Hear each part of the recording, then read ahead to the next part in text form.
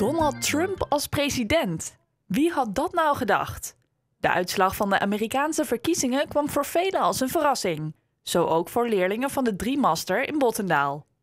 Mijn ouders maakten me zowat elke drie uur maakten ze me wakker, omdat ze de hele tijd aan het kijken was of ze al hadden gewonnen. En het was de hele tijd heel spannend. En uiteindelijk was het toch dat Trump had gewonnen. Dat was wel jammer. Ik vond het super stom dat uh, Trump had gewonnen, want ik was ook veel meer voor Clinton. Want Trump ging ook uh, heel veel erge dingen zeggen over mensen. In deze klas waren alle leerlingen voor Hillary Clinton. Ik vind dat Trump uh, de duivel van racisten is.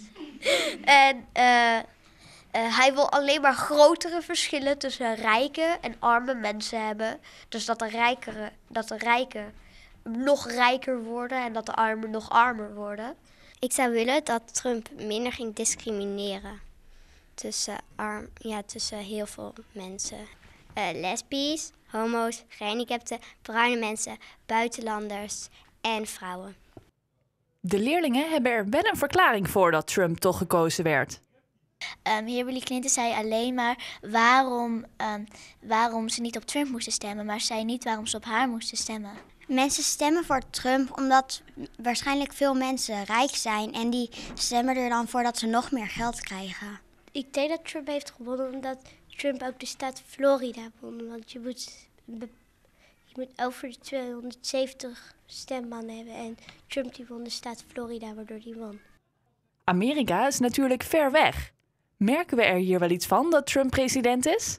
Ik denk dat veel Amerikanen uit ja, buitenlanders die nu in Amerika zijn, die het dan niet meer goed hebben daar, dat ze dan gaan vluchten. Dan komen ze hierheen naar Nederland. En dat gaan wij dus dan merken. Want heel veel Amerikanen hebben gezegd dat als Trump uh, president zou worden, dat ze zouden vluchten en hierheen zouden komen.